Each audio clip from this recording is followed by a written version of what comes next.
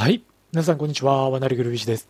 えーでは、今回は、提督の決断をパープキット続きをプレイしていきたいと思います。えっ、と、今回はですね、もういよいよ最終局面に向けてということで、えっ、と、イギリス、アメリカともに残す重要拠点は一つずつです。で、まずイギリスの方はこのドーバー海峡を残すのみで、えっ、と、一方のアメリカは東海岸ですね。えだけなので、ここの攻略に向けて本格的に動き出していきたいなというふうに思っています。で、えっと、まずですね、太平洋方面艦隊、対アメリカ戦を想定した艦隊なんですが、えっと、第1から第6までの艦隊が入っていて、えっと、第5、第6はあ潜水艦隊になっています。で、第1艦隊ですね。えっと、この第1艦隊はですね、えっと、一旦、日本に戻して、えー改装、ドック入りします。まあ、その必要があるかちょっと微妙な情勢ではあるんですが、えっと、アメリカ軍再建した艦隊と戦ったあところ、やっぱりね、装甲が薄い、えー旧型の空母は、あっという間に大ダメージを被るというのが、あまあ、如実に現れたので、これは改装しておきたいなということで、えー一旦日本に戻して、えー改装、装甲化します。まあ、想定しているのは基地型あ洋上空母ですね。要塞型にするにはちょっとどうかなというのがあるんですが、まず基地型の空母にしていきます。で、第2艦隊、第3艦隊は、あちょっとね、えー艦隊が傷ついているので、西海岸に入れて、えーこれもドック入り修理をします。で、その間の防衛がですね、えーどうしてもこの第5、第6の潜水艦隊に頼らざるを得ないという状況なので、ここはあ注視をしていきたいなと思います。で、第4艦隊に関しては補充用なので、これ西海岸に入り次第、艦隊の補充に当てていきます。で、一方、対ヨーロッパ方面の艦隊ですね。えーっと、こちらもですね、第9艦隊が消耗したままなので、第9艦隊はジブラルタルで補給、補充を行います。で、一方ですね、えカナリア沖に入っているこの艦隊、えっと、これもね、ちょっとダメージを受けているものがあるので、えっと、第10艦隊に関しては一度、ジブラルタルに入れて、第9艦隊と合流させます。で、第11、第13の両艦隊は、あカナリア沖で、えー待機。で、え第15、第16は補充用になりますので、それぞれ移動した後に各艦隊へと構成を変更していきたいと思います。で、えっと、ちょっとね、出番があるかどうかは、少し微妙なんですけども、潜水艦ですね。えーこれを少し改造しておきたいと思います。まあ、のーどうしてもね、空母、要する艦隊が空になっている時には、えーどうしても潜水艦に頼らざるを得ないというところがあるので、えっと、潜水艦を作るにあたっては、あ設計をして攻撃力の高いものに変えていきましょう。魚雷は10機持たせて、航行速度も上げたいな。ただ、どうだ？今の、この状態だと26キロノットが限界か。まあ、あとは耐久を上げられるところまで上げときますか？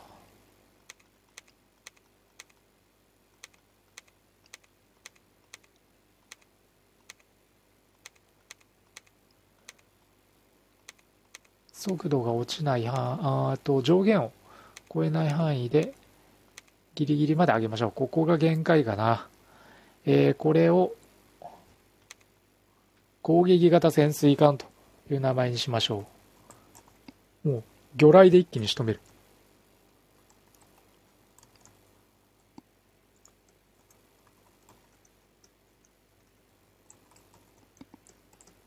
あのー先の対戦中もね、まあ、いわゆる特攻と呼ばれていたものに関して言うと、航空機による特攻が、あまあ、叫ばれていたというか多かったと思うんですけど、実際にはね、えっと、潜水艦でもね、同じような攻撃をしていたことがあったようなので、まあ、それとは一線を画すとは言いつつも攻撃特化型の潜水艦ということで攻撃型潜水艦と命名してこれを設計していきますで設計が終わり次第潜水艦はすべてこちらの方に生産を切り替えましょう。あと輸送船をちょっと作っておいて、えー、内政のところは全て入れてあります。技術再開発とかも入れてあるので、これで一旦じゃ、あ入れていきましょうか。あとは、足りていないところがあれば、輸送船を補充していってあげましょう。とはいえ、ほとんど全部入ってるかな。大丈夫そうですね。不足が16隻って出てましたけど、パッと見不足してそうなところはないかな。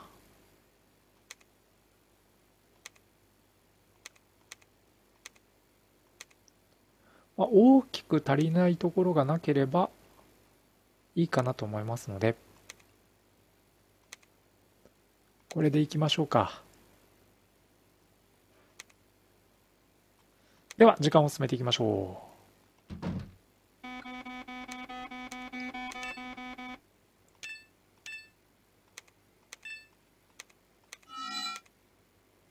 中型ディーゼル機関ですね。あとは、余興機が開発可能。順4週間かかるんだ、開発に。これかけてる間には決着をつけたいよね。で、あとは神殿です。30ミリの機関砲の武装はでかいよな。さらに時速最高750キロ。爆弾が250キロのロケット弾なんですが、まあ、機種は戦闘機なので、まあ、これくらいになるのかなとは思います。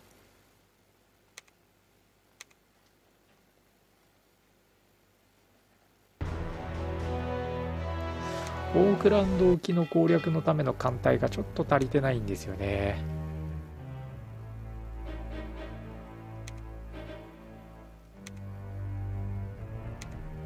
まあ、ホークランドを攻略するためには既存の艦隊に補給をかけていかないときついかなあとはアメリカ軍の動向ですね、まあ、アメリカ軍を先に叩くのか、えー、はたまたイギリス軍を先に叩くのかあのステップ数としては同じステップ数になるのでえどういうことかというと、えカリブ海は取ってあるので、アメリカ戦を想定した場合、カリブ海から出撃、バミューダ、東海岸と。で一方、イギリスを想定した場合、ジブラルタルからスペイン沖でドーバー海峡と進んでいくので、ここはちょっと思案のしどころかなとは思います。で、えー、第9艦隊ね、ここで、えー、第10艦隊と合流しましょう。まあ、第9艦隊、第10艦隊でいうとどっちと合流させてもいいんですが、第9艦隊を空きにしますか。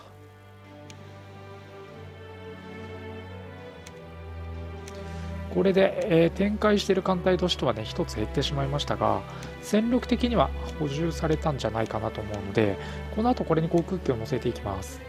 で、カナリア沖の方の艦隊にも航空機を補充したいので、えー、内政生産をやっていきましょうか。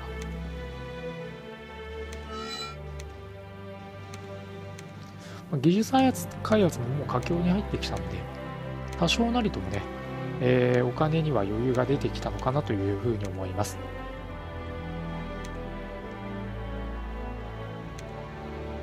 で、え、ー、と、あとは生産なんですが、まあ、航空機ですね、足りないものを重点的に生産していきましょう。えっと、新しい戦闘機開発するかどうか、ちょっとタイミング的には悩ましいんですが、まずは既存機ですね、二次型のものを、えある程度数を作っていきたいと思います。まあ、あ重爆と攻撃機が圧倒的に足りないので、これらを生産しつつ、あとはあ戦略爆撃機もいくつか作っておきましょう。でこれを配備という形ですね。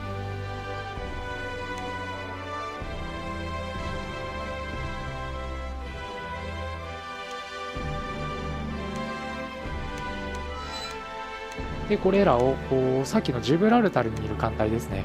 これに補充をしていきましょう。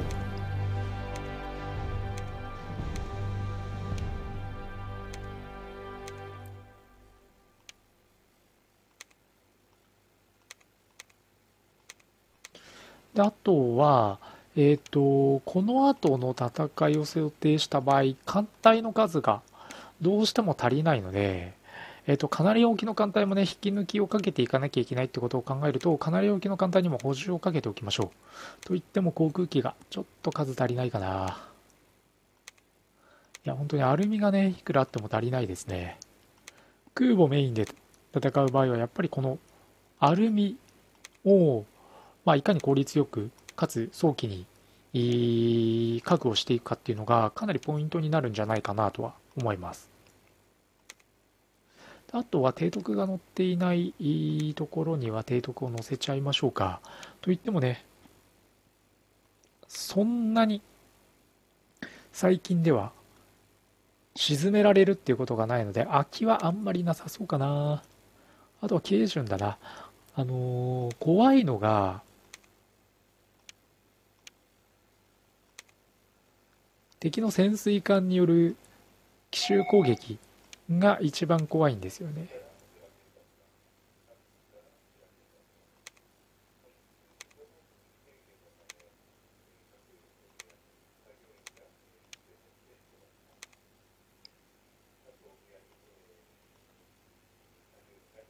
これでいいかな。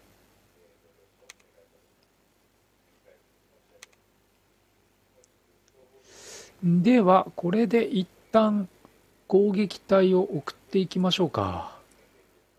一旦送って、この後攻撃隊を送っていきましょ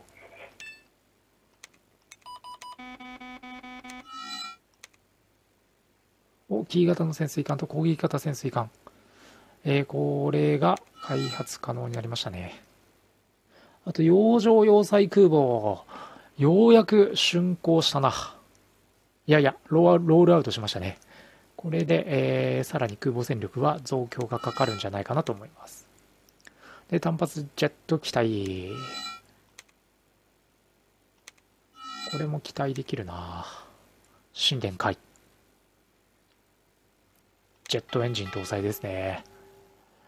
さて、そしたら、えっと、またまた忘れずにというところで、先に技術開発を入れていっちゃいましょう。物資援助も鉄を入れます。ドイツに対してね。で、えー、生産のところやっていきましょう。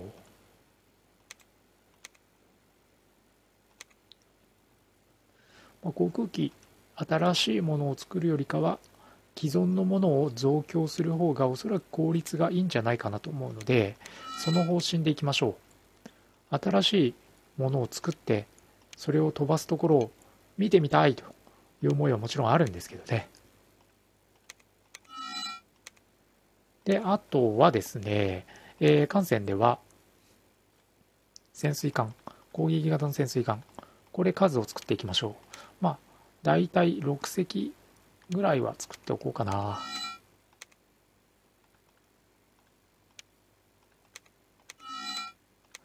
で今回あともう一つやっておきたいのがもうネタ的な要素にはなっちゃうんですけどキー型の戦艦をベースに最強戦艦をねちょっと設計しましょう。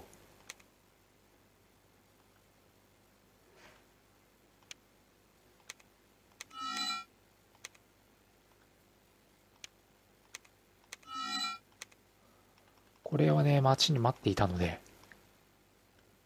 このキー型のものをベースにまずは手法。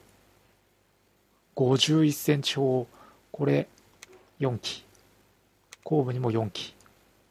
さらに、3連装。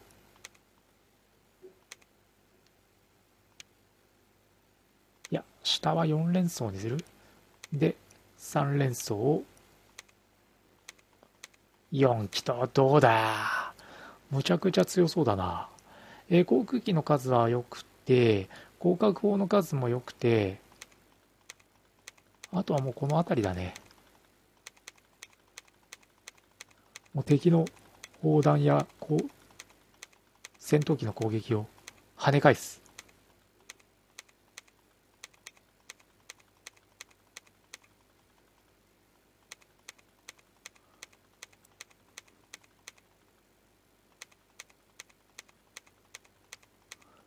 化け物みたいなものが出来上がるんじゃないかな。複法もちょっと考えなきゃいけないけど、先に、広角法、基準の数を増やしましょう。で、複法だな。えっ、ー、と、これを、数を増やしていく。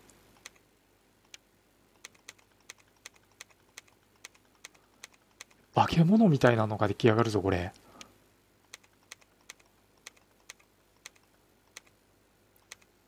どうだ、これ？ちょっと確認しますか？えっ、ー、と、必要建造資金が1万4000。開発費用だけで7500。開発期間は9週。必要建造鉄鋼1万4000。いや、これ半端ないのが出来上がりましたね。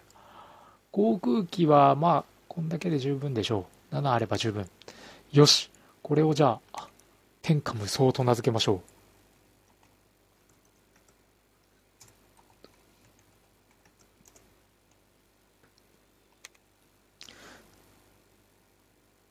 いやー、これが、何、合計30超えてるからダメっていうの？ちょっと減らしますか？じゃあ。残念だな。これで、えっ、ー、と、8、10、15。そうすると、航空機増やせるね。いや、これ航空戦艦的な位置づけにもできるんじゃない？えっ、ー、と、副報酬法の数確認すると、これでいけるかな？よし。天下無双。ちょっと待ってね。複法の数、もうちょっと増やせるんじゃない？ここまでかな。